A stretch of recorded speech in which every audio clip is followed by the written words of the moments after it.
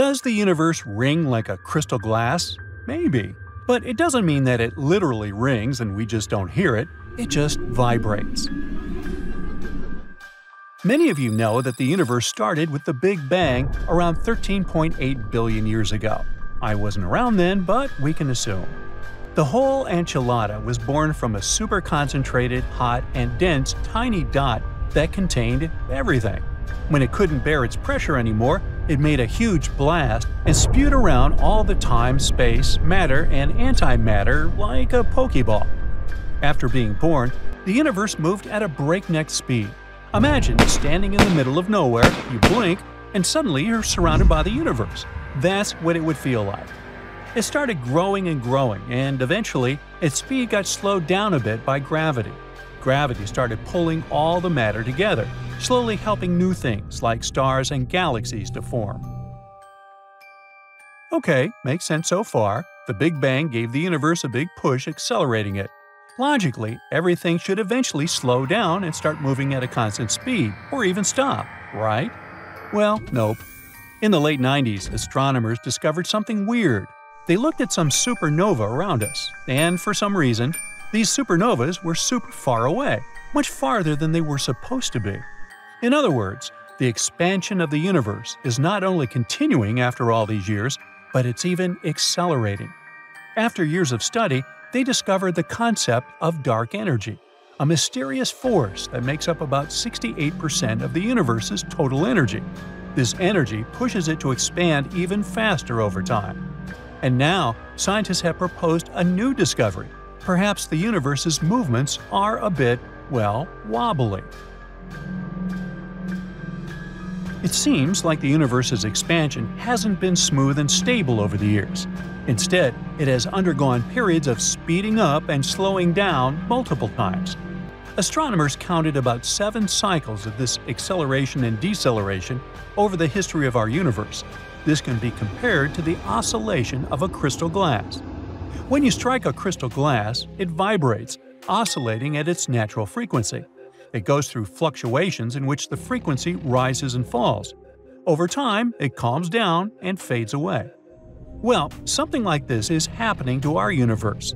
You can imagine its speed also fluctuating like that, rising and falling, first super rapidly and then more calmly.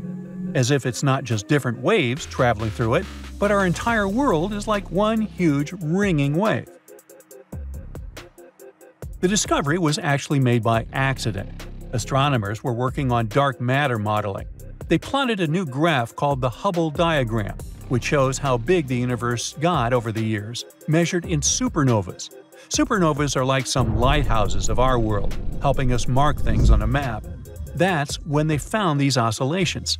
But we still need to check all the data to make sure that this discovery is indeed true. Dark energy and dark matter play this weird game with the universe, where one is constantly trying to pull everything together, while the other one wants everything to expand. So far, dark energy vastly outweighs dark matter, whose weight makes up only 27% of the universe. Now, both of them are invisible to us, and not just invisible to our eyes like infrared, it's that we literally can't detect them in any way. We can only assume that they exist based on how they influence gravity, changing entire galaxies, and all the large scale structures of the universe. We basically made them up because it was the only way to explain how our world works.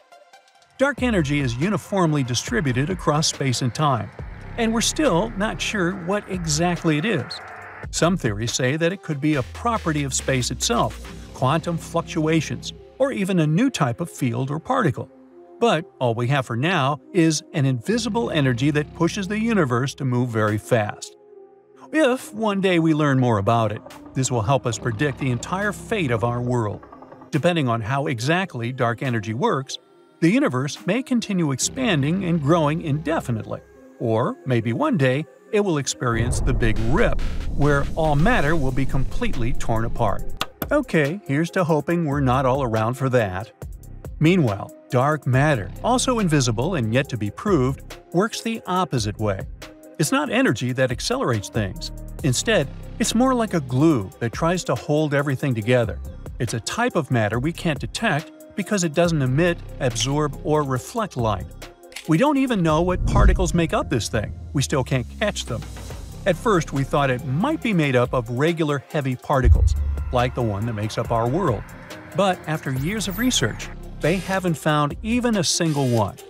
So now they think maybe it's actually made up of ultralight particles, millions of times lighter than anything we know, and because of that, we can't even notice them properly. So now, astronomers try to detect not the particles themselves, but waves that they could leave as they move through space. But we believe that it exists, because if it didn't, our galaxies wouldn't hold together. Dark matter helps them form, grow, and rotate. So, about 85% of our world is made of something unknown. All of this is incredibly mysterious and needs a lot of research. But that's what we know now. Maybe in the future, we'll discover something that will completely change our perception of the universe. That's what happened to Albert Einstein. In the early 20th century, most scientists, including Einstein, believed that the universe doesn't actually move. They thought it was static, neither expanding nor contracting. That's because, to us, it feels like it doesn't really move. Back then, scientists didn't have powerful computers or telescopes that could detect all the little changes in the positions of stars and supernovas. When Einstein developed his famous general theory of relativity in 1915, his equations actually suggested that the universe should either be expanding or contracting. This didn't really make sense to him. To fix this calculation flaw, he decided to introduce a new term, the cosmological constant. It was like a repulsive force that counteracted the attractive force of gravity. Essentially, it meant that while gravity tries to push everything together, some force or energy helps to balance this out by pushing everything apart. Sounds familiar? Then, in the 1920s, astronomers Edwin Hubble and Georges Lemaitre found out that the universe isn't static, it actually expands. They noticed a slight reddish tint from the distant galaxies, and this tiny hint meant that other galaxies were moving away from us. After that, Einstein scratched out the cosmological constant. Interesting how he was later ashamed of this assumption, calling it his greatest blunder. He didn't even know that he was a hundred years ahead of his time, accidentally discovering dark energy. Now the cosmological constant is back again, just in a new form. Something similar happened with dark matter. Scientists have already started noticing that something doesn't add up back in the early 20th century. They saw that galaxy clusters didn't have enough visible mass to hold them together, which means there must be some unseen mass that helps to make up for it. And that's when it got its name, the dark matter. This stayed unresolved and unproven for many years. And then, it was finally discovered by Vera Rubin when she was observing galaxies and their movement. She realized that outward parts of galaxies move almost as fast as their central parts. This doesn't really make sense. The outer part should be a bit slower. This became the first official proof of dark matter which boosted its research. There are still many things left to be discovered, but maybe one day we'll understand what is this invisible part of our universe that makes it ring. That's it for today. So hey, if you pacified your curiosity, then give the video a like and share it with your friends. Or if you want more, just click on these videos and stay on the bright side.